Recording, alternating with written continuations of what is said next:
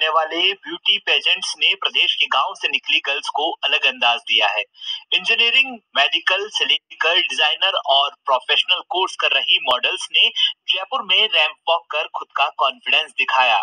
आयोजकों द्वारा जयपुर में फाइनल ऑडिशन और इंटरव्यू राउंड रखा गया था। इस दौरान मॉडल्स ने रैंप वॉक करने के साथ डांस और सिंगिंग कर खुद का टैलेंट दिखाया। Olympia,